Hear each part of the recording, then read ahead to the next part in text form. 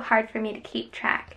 I think they're all starting to blur together. Like the first like three or four, it, it quite sense, but I might be questioning which Vlogmas day it is for the rest of the month. Maybe I should do a countdown on my wall. Great idea, guys. Decided today that I am feeling some pancakes, and why not try to make pancakes that look like Rudolph?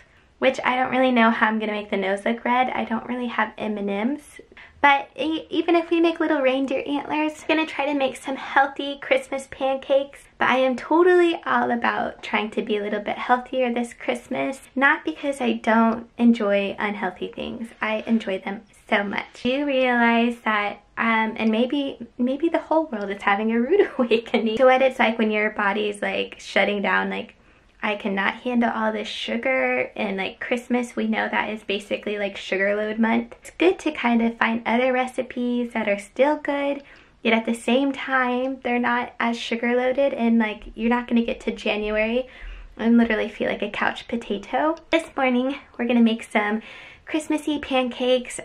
Ready? Ta-da! Oh, it just makes me so happy you guys have been good and enjoying all these vlogs. And enjoying realizing how how much discipline it, it takes to edit a video. And I don't know do you guys like shorter? Do you like longer? I feel like it's a bit mixed. I really wish that somehow though could just hear you back. Like like you're just gonna talk to my screen but that means I'd have to do a live thing on like Instagram and that's not what this is. It's okay because we're gonna have a good day. It's gonna be bright it's gonna be shiny. I just had my Jesus time, so my faith is back in my heart for everything. I think so. My room is still pretty cute. I have my little necklace over here so that every day I can look at it. Also, this is me as a child. I love this picture because it's kind of funny, but this cat ran away and her name was Precious and I even ended up naming my pony after her. So like Precious ran away. So when they're like, oh, like we got you a pony, what do you want to name it? My little childlike brain was like, Precious. Like I just want an animal named Precious, obviously. Wishing on a star for that pony and then I got it. So um, I believe that the Lord listens to all prayers even when they look like shooting stars. Ready now and I'll meet you in the kitchen for some lovely, lovely, lovely pancake making. Yay! Welcome back to the kitchen. I know you've been so excited just waiting for me to get back in here. This is a recipe from the Whole Food Diary. Two bananas that are nice and ripe. We have eggs. We have, I'm putting chocolate chips in. It's not in the actual recipe. Cinnamon. I'm going to try to make this into like reindeer antlers. And then I think we're gonna have to do like a golden nose or something because I didn't have red. Um, coconut flour, baking powder, the best vanilla, and of course the oats, which we are going to blend in our little blender. And this is the recipe. And well, this is what they look like. Mine probably won't look like that, but that's also because I'm trying to make it into reindeers. Nice and simple and we'll see how it goes. I'm also like, I love pancakes and I haven't had these in probably like six months. So I'm super excited to have them. Peanut butter on top with a little bit of drizzle. It's just a happy place. Wearing a reindeer, if you can't tell. I'm making reindeer pancakes, I did not do that on purpose, but I should have.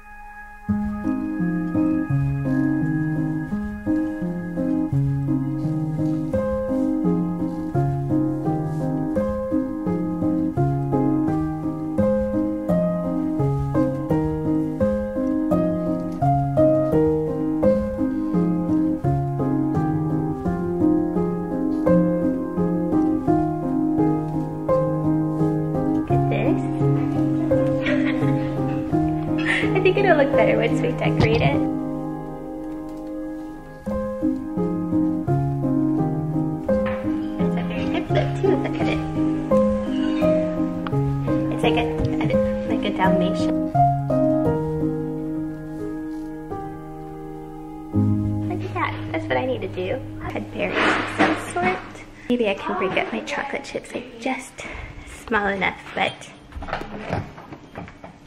let me see I think we're just gonna give it a little bit of like a snowy sprinkle.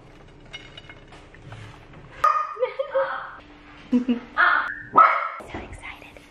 Even next to the Christmas tree, they're just so cute. Don't mind me while I just put this maple syrup on top. Just a little drizzle.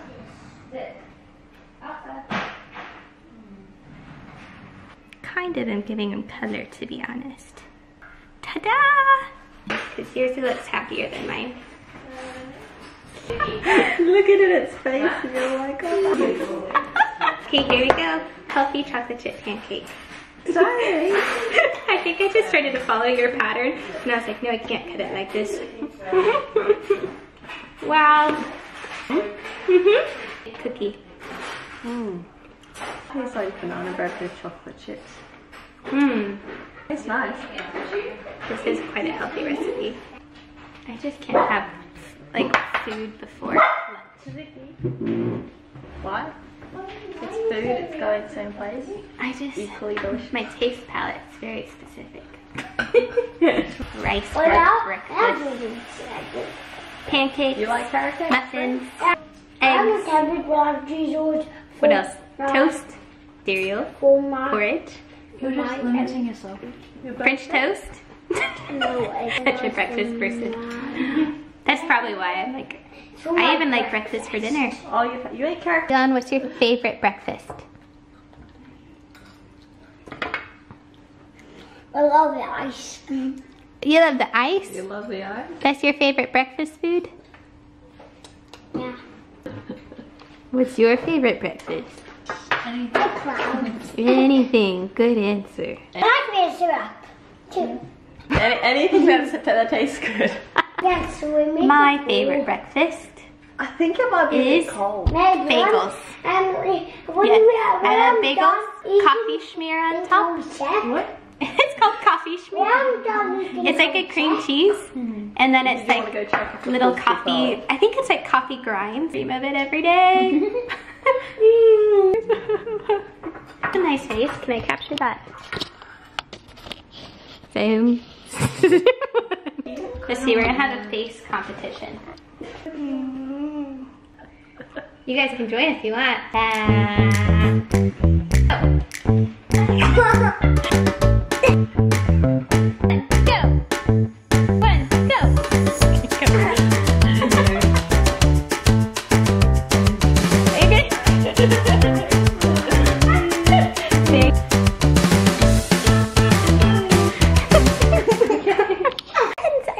Just saw my mom got her devotional in. I saw it on Facebook.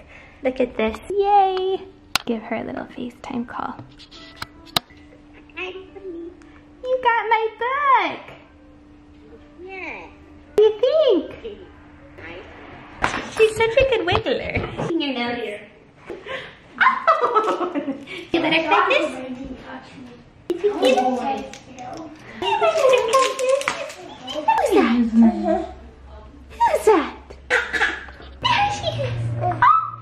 Big wiggler. Do, do, do, do. Oh, what a day it has already been. I'm into my calendar now because I had a very lovely lunch. It's time. Day nine, two. Right here, winning. Add our little donkey. We got good chocolate, another milk for him here, or we go asymmetrical. Welcome to the outdoors, friends. Really warm right here. Okay, so we just talked about how Mary had her miracle, Elizabeth had her miracle, Zechariah had his little miracle come, how he went voiceless, able to have his voice again in his ministry.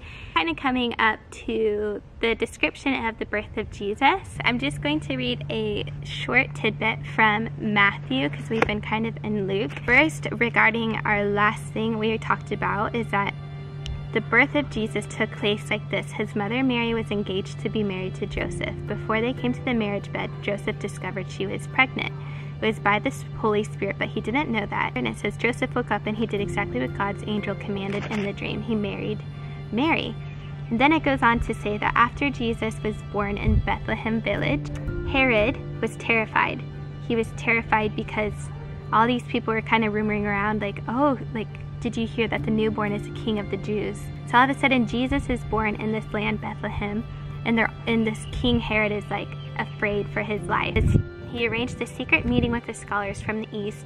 He said, Go find this child, leave no stone unturned, and as soon as you find him, send word, and I'll join you at once in your worship. But when they had gone, an angel of the Lord appeared to Joseph in a dream and said, Get up, he said, take the child and his mother and escape to Egypt. Stay there until I tell you, for Herod is going to search for the child to kill him. Already we see that it's like, you know, the king giving this promise to his people, like, go find this child, and then there's God who is sending angels to Joseph to speak to him in dreams. It was like God spoke to Joseph through a dream to marry Mary, and two, he spoke through a dream to be able to speak to him to take Jesus and save him. And that is what the Lord does whenever the enemy has a plan out for us. He protects us, he guides us, he sends angels to guard us from from the enemy. Whenever you do have like a God assignment on your life. Think that there's always, like the enemy is always out on assignment to try to get you down, to try to take you out. Whatever it is that, you know, your God purpose is, just like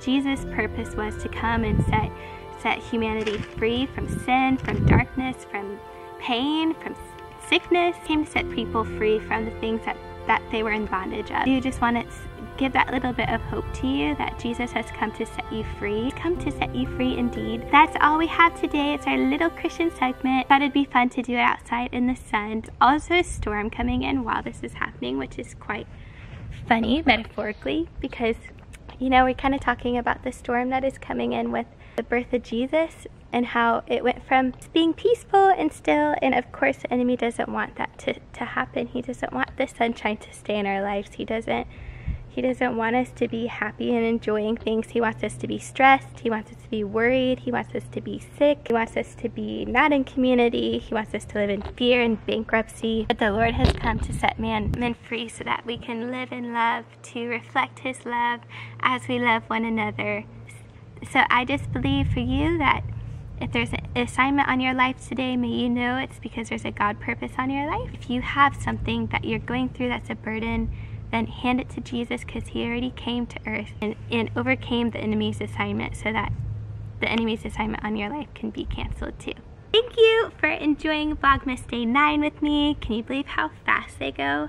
Feel like they go fast every time, but hopefully you're enjoying our little making the pancakes, doing silly faces, I was totally to go swimming, but now that the rain's coming in, I don't think that's going to happen. Tomorrow we're going to have another fun day together. I pray that if anything, this is just encouraging you, like these little segments at the end.